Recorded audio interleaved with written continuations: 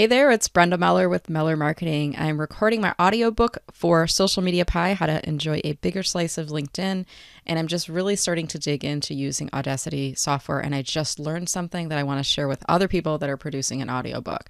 So, a couple things I haven't found in other videos, and I've kind of stumbled across them, and they've been very helpful to me. The first is after I've completed doing a recording in the menu bar at the top, you'll see the little plus sign, minus sign to zoom in, and then there's two um, images next to it. One says fit selection to width, and the other one says fit project to width. So if you click on that, you can actually see the length of your entire project all at once. The other thing is I've been using a little hand clicker. It's like a pet training tool. Let me just show you what it sounds like so you can hear that loud clicking sound.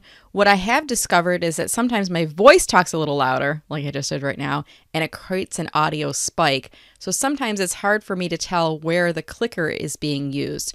And I've been using the clicker anytime I make an audio mistake to kind of note it in the audio so that I can go back and repeat it. Now, if I do two clicks in a row like this,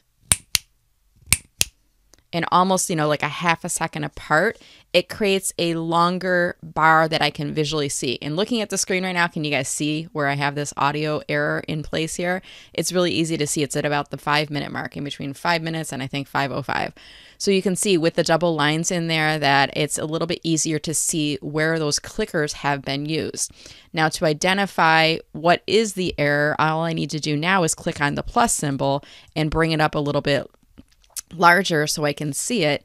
And then what I found is helpful is if I go to the uh, place in the audio where I start the re recording and listen to it. Let me show you this right now. So I can see where I'm starting my text. Then I go back before and I try to identify where I started that first same paragraph. Let me see if it's right here. See right there and you heard the audio mistake. So now I know what I need to do is go in here and just highlight and select it and drag all the way through those big clicker marks. You can see those visually on here. And then I click on the little cut and I delete out that audio clip. And that will take out my hiccups as well as those two audio clicks. And let me just play back now the completed section of this piece. There we go. So now no audio glitches, the mistake has been made.